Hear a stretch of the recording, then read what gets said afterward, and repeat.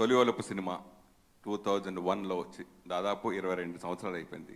So ఇన్నేళ్ళ కెరీర్లో హీరోగాను అలాగే villain గాను కూడా ఎన్నో అద్భుతమైన క్యారెక్టర్స్ డిఫరెంట్ డిఫరెంట్ షేడ్స్ క్యారెక్టర్లు చేశారు. సో ఒక జోనర్ వెళ్ళకుండా దాన్ని తప్పించుకోవడానికి ప్రయత్నాలు కూడా చేశారు.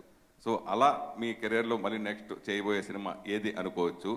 అట్లాగే విలన్గా మీకు ఇప్పుడు అన్ని పాన్ ఇండియా సినిమాలు అయిపోయినాయి కాబట్టి హిందీలో కూడా మీకు బీభత్సమైన మార్కెట్ ఉంది.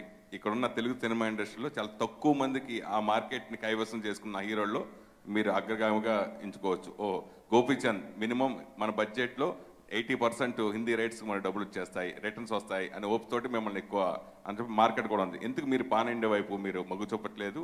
అలాగే భవిష్యత్తులో ఒక మల్టీ స్టార్ సినిమాల్లో మీరు విలన్గా చేసే అవకాశం చూడొచ్చా ఎప్పుడైనా భవిష్యత్తులో? విలన్గా చేస్తాను లేదో తెలియదు అండి ప్రస్తుతం హీరోగా చేస్తున్నా కదా హీరోగానే చేయనివ్వండి. But pan India movie first Telugu సినిమానే చేస్తాను. అది తర్వాత డబ్బింగ్ అది వస్తే ఓకే. నేను పాన్ ఇండియాకి అయితే ఇప్పుడు ఏం చేయ ఏం చేయటం లేదు. మీకు ఆ మార్కెట్ ఉంది కదా కొంచెం ఎందుకు వెళ్ళట్లేదు అంటున్నా. హిందీ మార్కెట్ మీ హిందీ మార్కెట్ ఉంది. సార్ దీనికి విషయం ఏంటంటే మా హిందీ బిఫోర్ యూ వాళ్ళు కొన్నారు sir. Only satellite and digital కొన్నారు. కొన్న వాళ్ళు ఒక వారం రోజుల క్రితం నాకు ఫోన్ చేసి సార్ మేము హిందీలో కూడా రిలీజ్ చేస్తున్నాము. సో ఇమీడియట్గా మనం దీన్ని హిందీ సెన్సార్ కూడా చేయించాలి అని చెప్పారనమాట థియేటర్కల్ చేస్తున్నాము అని.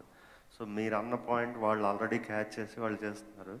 నిన్న కన్ఫర్మ్ చేసింది ఏంటంటే రెండు వందల నలభై ఐదు థియేటర్స్లో వాళ్ళు ఆల్రెడీ కన్ఫర్మ్ చేశారు. సో మీరు సెన్సార్ అది లేట్ చేయకండి సార్.